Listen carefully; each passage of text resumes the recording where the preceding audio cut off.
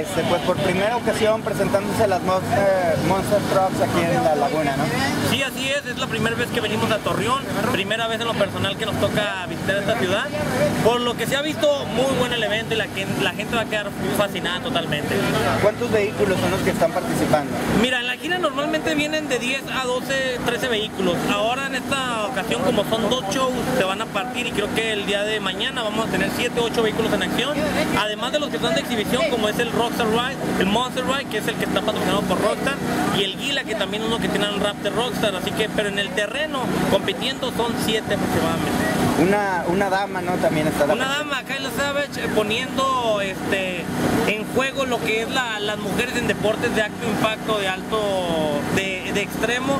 Kyla Savage los va, los va a sorprender. Si tienen oportunidad de conocerla mejor, si ya la entrevistaron, este, chequen que las niñas sigan de ejemplo porque ha sido muy ha sido mucho impacto para muchas niñas, para muchas jóvenes de que es de pone de mano de que la mujer puede hacer lo que sea, se está poniendo en un mundo dominado por los hombres y es la única en México y en el otro lado, en el otro lado creo que soy otra chica, pero que ella también está sobresaliendo mucho, así que es, de mucho valor lo que está haciendo ella.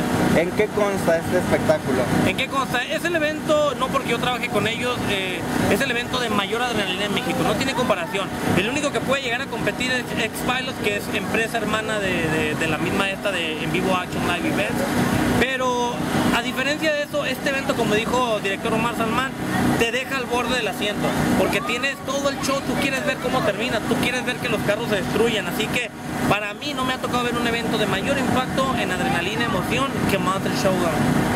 ¿Cómo, cómo se, se, juzga este, este evento? ¿Hay alguien, algún ganador? Sí, sí, hay ganadores. Es muy importante la participación del público y aquí el público decide quién, o sea, la gente aquí no, no venimos a decir, ah, somos expertos en carreras. No, venimos a ver show. Yo me emociono cuando un carro se voltea, se destroza, salvaguardando al piloto. Si se salen todas las llantas, nosotros felices. Así que el piloto que más chuda es el que gana. Ok, en la competencia de Willy es el que logra el mayor Willy. En la competencia de carrera es el que tenga el mejor tiempo. En freestyle es donde el público toma la decisión, es donde las corredoras te animan a hacer lo, que sea para destruir el carro. Es muy importante algo, no muchos son dueños de sus carros, de eso depende muchas acrobacias que hacen.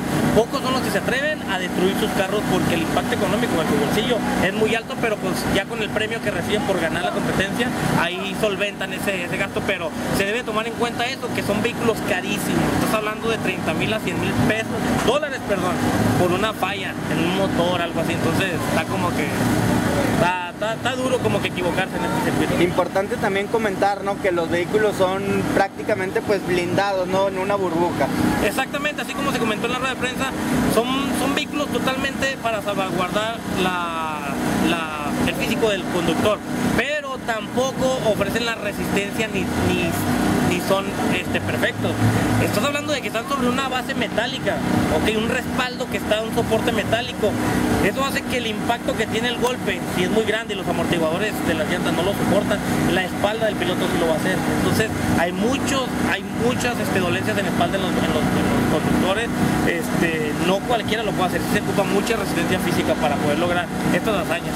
Eh, invitar a la gente, ¿no? Claro que sí, se invita a la gente, a todos los que, si no, si no tienen este ahora sí por la manera económica son muchos en la familia, no pueden ir. Vean los videos, este, no hay como verlo en vivo, es uno de los mejores eventos de, México, no se van a arrepentir y sobre todo es un evento familiar, así que es invitado y es recomendado totalmente, es casi garantía total de que van a... El dinero que, pagaron por el boleto en la primera media hora del show ya va a haber este, la retribución total de Así que invitado totalmente por parte de la. Muchas gracias.